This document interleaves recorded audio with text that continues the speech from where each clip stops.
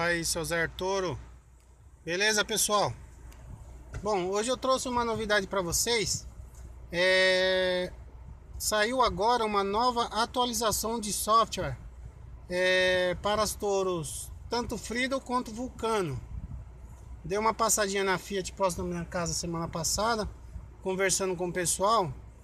É... O pessoal disse que a Fiat lançou uma nova atualização para o carro e eu levei o carro lá, foi coisa rápida, coisa de 30 minutinhos.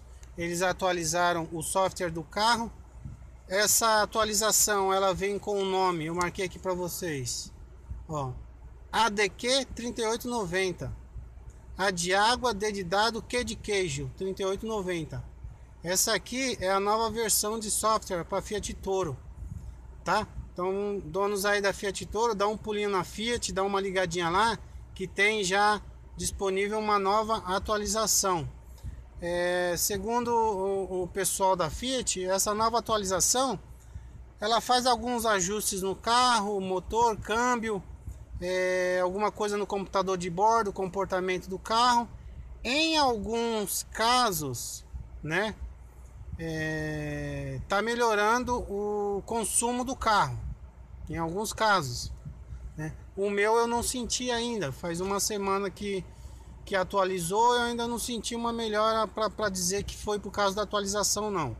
Mas já há depoimentos lá na Fiat que, que deu uma melhorada, viu? Com essa nova atualização. Então vamos lá, pessoal. É, donos de Fiat Toro aí, uma nova atualização no mercado. Aconteceu a mesma coisa com o Jeep Renegade. Quando lançou o Jeep, depois de, de algum tempo veio algumas atualizações para fazer no software que em um ponto ou em outro deu uma melhorada. Então fizeram a mesma coisa com a Fiat Toro. Beleza, pessoal? Mais uma dica para vocês aí. Quem gostou, dá um joinha.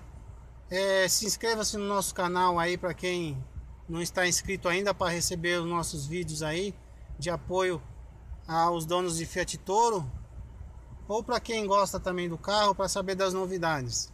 Pessoal, não esqueça de clicar no sininho lá para vocês receberem assim que a gente postar um vídeo novo, vocês já recebem na hora, já fica mais fácil do que ficar procurando, beleza, pessoal? Obrigado. Fui, Arturos.